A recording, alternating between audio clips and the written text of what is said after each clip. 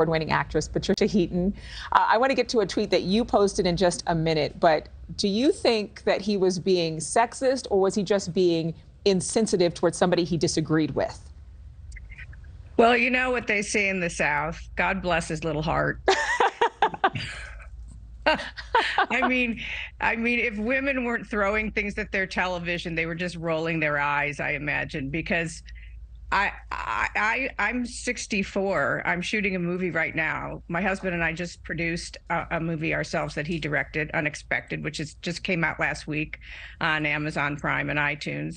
Um, you know, I, I was in my 50s. I was still working on the show called The Middle on ABC and still raising my four sons. Mm. I didn't start my career until my early 30s and didn't have my first child till I was 35. So if you're telling me that by the time, uh, you know, 20 years later, uh, 15 years later, I'm washed up, I mean, I don't know. My life doesn't look washed up to me. No, uh, you are fabulous and you've had a wonderful career and you're beloved from Everybody Loves Raymond for my uh, my, from my perspective, but obviously the middle as well. You tweeted this out saying, Hey, ladies, Don Lemon thinks women over 50 are past their prime. Let's start hashtag prime time and list some of the things we've accomplished in these glorious later years. What kind of response are you getting? I have not only received hundreds of uh, tweets about all the things women are doing from starting businesses to um, doing charity work to climbing mountains, um, and all the while still taking care of family and other family members. So it's, you know, women are uniquely gifted to multitask and do all these wonderful things for years and years and years. There's no age limit to what we can do. By the way, I just think this goes for people in general, but to dismiss women uh, after they turn 50 is is is silly. It's just a silly thing to do. He well, made a huge mistake. I, I, think it's a huge mistake, but I really think that it speaks to the fact that if you allow enough hatred towards anybody, whether you disagree with them, whether it's racism, whether it's sexism, whether it's ageism, whatever, if it's personal, if you make things personal, you just aren't sober enough to think clearly and you say things that you shouldn't say.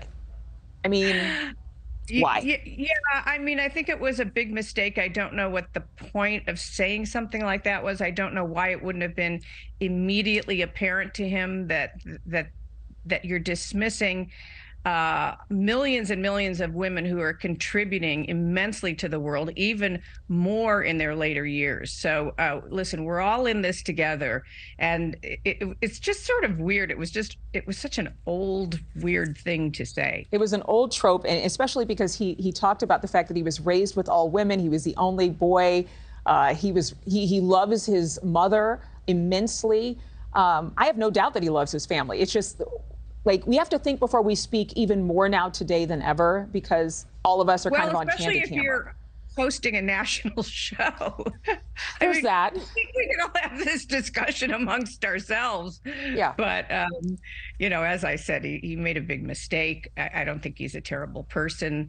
Um, but I, it was just fun to receive. I, I got an email last night from my 83 year old actress friend, Annie Korzen, who became a TikTok star last nice. year at 83 and just got a book deal. I need to watch her.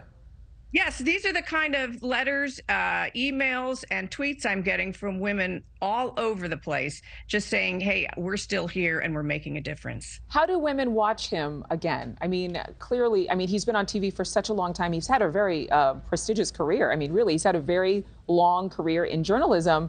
But for ladies who are watching and tuning in, I, I would think it's like, okay, well, fool me once, shame I, you on you. Fool me twice, shame on me. I I feel compassion for him because it's almost like he's my son or something. I'm like, oh no, honey, don't say that. Yeah, no. Don't say that. Maybe no. he could read your book, second act, about yes, how when things don't go the way you want, that you need to reinvent yourself. Reinvent yourself. This is a good opportunity for Don no, but yeah, I, I, mean, I wrote a book about people reinventing themselves. What you know, and that just came out what two years ago. Mm-hmm. So um, that we we can listen. I women know we can do anything. The fact that we do everything we do while the majority of us are also raising families, we know we know what our power is. We know how strong we are. Um, and, and God bless. I think to say thank you because I think for a lot of women, they need to be reminded by the sisterhood that they can do anything and that life isn't over after 50 or 60 or 70 Absolutely. or 80. And so, absolutely, I'm sure we're we're, we're all applauding you uh, from wherever we sit right now this morning, uh, saying thank you for showing us the way.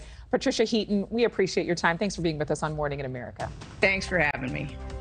Thank you for watching. Go to newsnationnow.com to find News Nation on your television provider. And don't forget to click the red subscribe button below to get more of News Nation's fact driven, unbiased coverage.